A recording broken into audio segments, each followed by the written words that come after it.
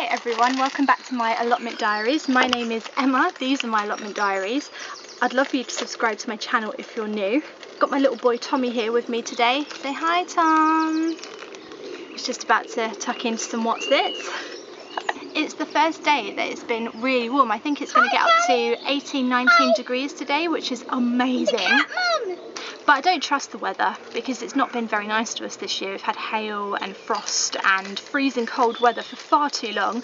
I looked back at some of my vlogs from this time last year, literally the same week, and I already had sunflowers that were up to my knees and I already had all the pumpkins out and all the other things out. And this year we're like, we're probably about three weeks behind where we were last year. But enough is enough. I'm going to start planting out now. I've just had enough. Um, and I'm going to start getting my things, bits and bobs out. So I brought lots of plants with me today to plant out. So it's going to be a nice day, I think. A little bit windy, but it's all right. okay, what have I got with me today? Well, very exciting.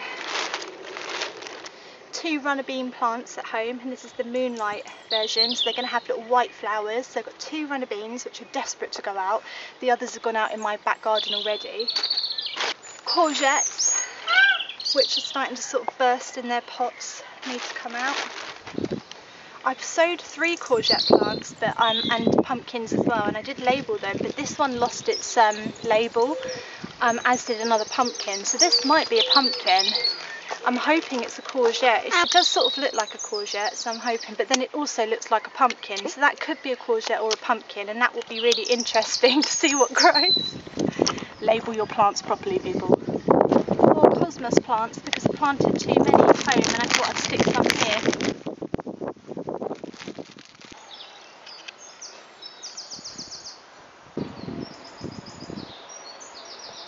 Oops. My plants are definitely not as big as they were last year. When I was putting these out last year, they were absolutely massive. Um, and this year they're probably about half the size. So I don't know if that's if you're experiencing this too. I sort of feel like all my seedlings haven't got to where I sort of wanted them to get to, and I don't really know why because I've grown them all indoors like normal. So don't know, but I'm going to start whacking them all out now because I just want to get some stuff out.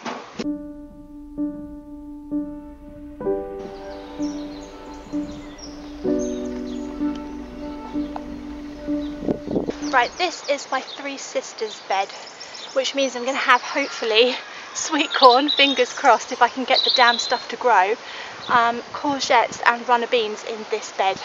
So courgettes are quite big plants, so thinking about where the sweet corn is going to go as well in a grid, alright? Yeah. So courgettes are quite big plants, I know this from experience, so I'm going to sort of plant them in a row, one, two, three, like that I think hopefully by doing that I can have the sweet corn then dotted around it in a grid. I don't think I'm going to get that much sweet corn. I'm sort of thinking I might have to go and buy some to be honest and I'll try and get eight. So one, two, three, four, five, six, seven, eight, maybe nine, eight, nine in a grid. Anyway, they're going there. Right, oh god, that was a bird. scared me. Birds are attacking me now. Standard standard practice at my plot. I don't really know what I'm talking about, but I'm just going to whack these in and hopefully they will live.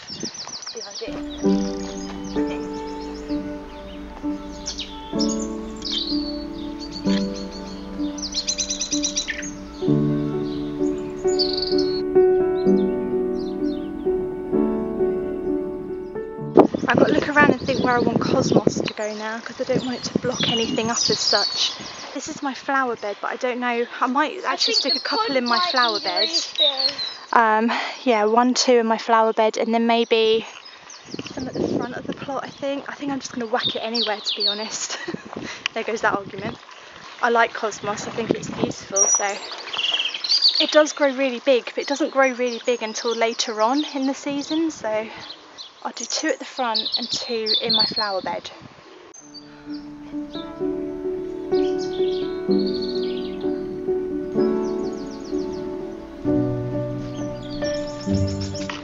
Sporadic, but I'm just thinking Cosmos is a massive, Mama, massive plant. Oh, um, right, let's water these ones. So give the, each one a little bit of a water. Sit lovely. And then the next one. You might need to come around here. Just these three, just these three. These ones I've just planted, you see. Beautiful.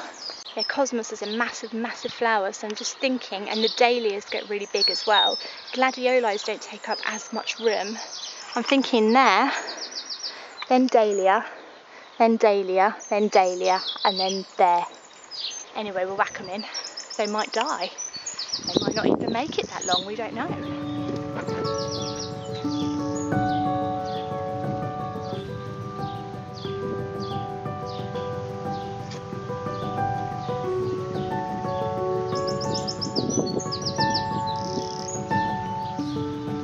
More little gladiolus coming up. They're all coming up now. I think it's the warmer weather. Dahlia's doing really well. There he is, looking very happy. And this little dahlia, oh, whoa, blooming heck, look at him. He's massive. Wow. And look, even he's growing now. Look at this. That's a weed, he can bugger off. But look at this. Beautiful. It's always the plants that I think are like dead um, or won't grow that actually grow the best. I think they try and do it to prove me wrong, but I'm quite happy with that to be honest. I'm going to leave them uncovered now for a bit. They're doing so good, I'm so excited. Oh my goodness, this one is just like magical. Look at him. He's just showing off now.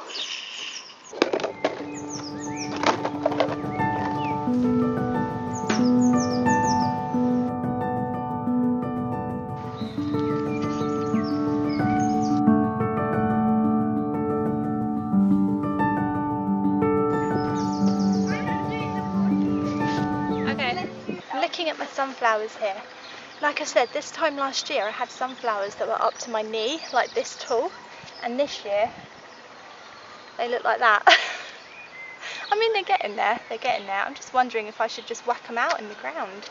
You know, I'm going to go against my better judgment as I usually do at this plot, and sometimes it works for me. I'm just going to whack them in now. I know they're not that big, but I just I'm just going to whack them in because you can plant the seeds now in the ground so I'm sure they'll be all right. I've got to get rid of that massive cabbage now. I left it there as a sacrificial vegetable to the slugs and snails and I hope that if I left them something over the winter they'd leave me alone. It didn't work by the way. That's not good logic but it worked in my mind. Right, I've got to get rid of it now. Seems a shame.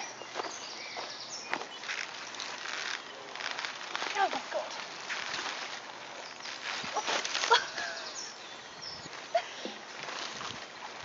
Look at him. Massive. Massive. Ah. I'm not having a good day. Ouch. Well, that didn't all go to plan, but I've been meaning to get rid of some of this chard here because it's sort of taking over a bit. And I think this is a good spot for sunflowers this year. So I'm going to put all the sunflowers in here. Um, hopefully that stays at bay. I've got Californian poppies, but I think I'll leave them. They'll be all right. Wow, look at the roots on him. Got loads of roots. Maybe that's why it's not growing anymore. Root bound.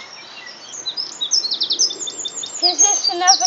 Is this another thing? No, these are sunflowers. The roots on these sunflowers, considering that they're not very big at all, are crazy. Maybe that's why they're not growing that well in the pot. But yeah, there we go, sunflowers out. So sorry about bloody crows. Got to get involved, didn't they?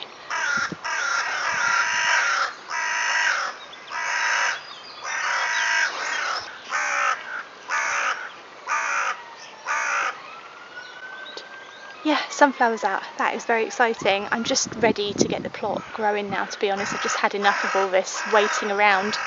What's up with all the birds? It's like bird day. National Bird Day at Emma's plot.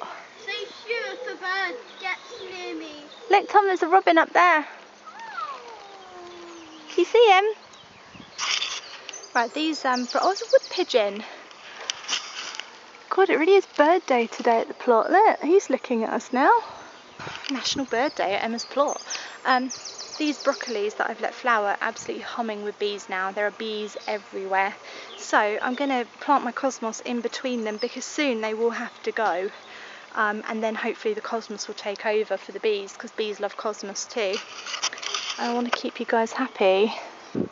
Are they all gone? as soon as I go to film them, they all disappear. Where are you all? Bees, relax, relax. Ah, bees. ah, bees. Bloody bees. Right, I've got the cosmos underneath here, so hopefully when I have to finally yank these things out, unfortunately, we'll have cosmos growing. Right, little tiny mini tour. We've got the cosmos in here, sweet peas, dahlias and gladioli. Everything's growing, everything is alive. This bed is alive. This bed is empty. Miscellaneous bed. This bed has got my broad beans, these are doing fabulously parsnips and um, what's the other thing that's in here? Oh God, radishes, sunflowers, chard, uh, spinach under there, supposed to be under there, pumpkins, pumpkins, garlic, courgettes, runner beans, sweet corn hopefully, tulips. Got my cabbages. Oh, they don't look very good. Carrots. Load of stuff that I've let go to seed. Strawberries zinnias, don't know yet.